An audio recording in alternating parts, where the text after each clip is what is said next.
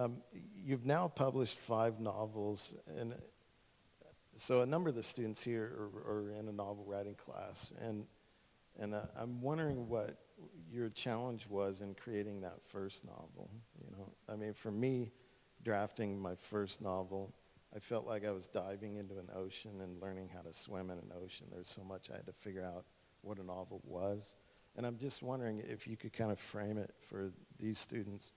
Um, what, was your challenge in, in creating that first novel? So the first challenge was I didn't know what I was doing, but that blissful ignorance is your best asset, I think, in anything that you do that is a hard competitive business because I didn't know what I didn't know. And that was such a good thing because I would have thought this is crazy and run screaming the other way. And by the time that I realized I didn't know what I was doing, I'd already written 400 pages. So I thought, well, you know, I, I didn't realize until then, I started learning that, and I have a lot of rejection letters to prove this from agents all over New York, that World War II novels just don't sell. This is what they told me. And I'm sure if you think about how many World War II novels are the biggest hits out there right now, you realize nothing sells until it sells. And so at that point, I thought it's too late. I already wrote this book I was passionate about. And so I think that's one of the most important things too is, is you have to write a book that you are passionate about, it, not to worry about chasing a trend because by the time that you chase it, unless it's something you're passionate about, there's something to be said about writing something smart and maybe something that will probably fit well in a market, but not just because every vampire book out there is so popular. By the time that you write a vampire book and you write the whole thing and you get an agent and then you sell it and then you revise it and it comes out a year after that, that's two years down the road minimum, and now everybody's moved on to zombies.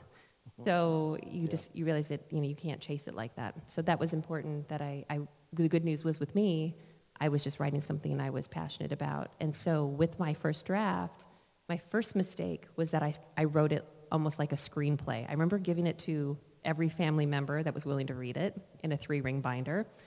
And my sister-in-law actually read it and said, I really love the premise of this and the story, but it actually reads like a screenplay. It's like your head, you're like it's almost like you're following a camera from character to character, jumping, head hopping, what we call it, mm-hmm. jumping into their heads from paragraph to paragraph. And I said, yeah, what's wrong with that? Mm-hmm. I thought, okay, I need to start reading an enormous amount mm-hmm. And learning how to take the movie in my mind and put it on a piece of paper in a way that hopefully the reader can see something close to the same movie. And that's when I realized they were different art forms, and I had to figure out how to do that. So that's probably the, the biggest thing I learned was that and I did remember, the, after I finished that whole first draft, if you take no, nothing away from today, take this. GMC is something I learned about once I finished the whole book. You need this, not only for a whole book, and I'll explain what it is, but ideally for every single scene or chapter. So are you familiar with GMC? We kind of do shorthand with that. Um, I'm sure you refer to it as something else, but we call it goals, motivation, conflict. And if you, I really didn't have that for the whole book, for every character. Every character needs a goal, a motivation, and a conflict. So why do, what do they want? Why do they want it? And why can't they have it? And if you put that not only in the whole book, but the, every single scene, you create tension and conflict in every single scene, that's what turns pages. So turning pages, you know, I would say, we'll probably get into this too, but that's, I would say, the GMC and also um, raising questions.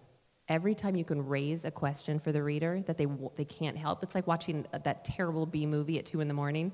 And you want to shut it off, but you can't, no matter how bad it is, you know, because you have to know how it ends, because you have to have that answer to some question they've raised along the way.